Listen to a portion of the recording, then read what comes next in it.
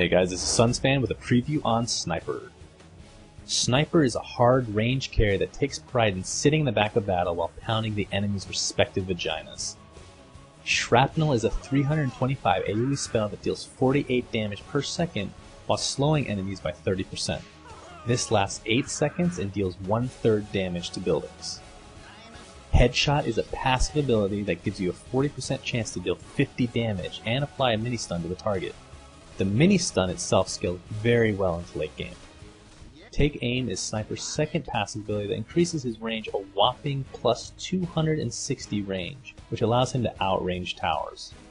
Just to give you an idea of how much range this is, his base range is 550, then you add the 260 and it makes 810. To give you something to compare this with, other than Techies, the highest attack range in the entire game is both from Lina and Drow at 625. Assassinate is Sniper's ultimate and allows him to do a burst amount of damage to a target from a very long range. The casting range at level 3 is 2500, while the damage dealt is 655. This ability takes 1.7 seconds to cast, but can be cancelled mid-animation without worry of using the spell.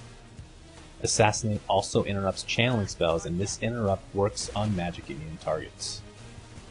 Thanks for listening, guys, and as always, remember to subscribe to Dota Cinema, your home for Dota 2 videos, and also check out Dota2portal.org as well as DotaReplays.org.